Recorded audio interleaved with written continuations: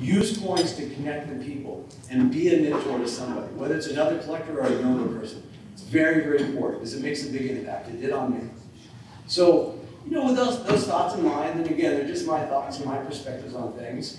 I have a, uh, a really nice set of coins over there. It's not bad. It's actually the number one PCGS set registry of proof seated dollars. Took a really long time to put together. It's from 1858 to 1873. And there's also, you know, aligned with my theme to be open-minded to what other collectors are doing. There's an 1893 Great Britain proof set there with the gold. I'm not that into foreign coins, but I'm into that foreign coins, all right? So, you know, you, you look at other things, you see what out there. So it's a phenomenal collection and just reiterates, get out and exhibit. Every major show always have one case for something, just for sharing and showing and telling.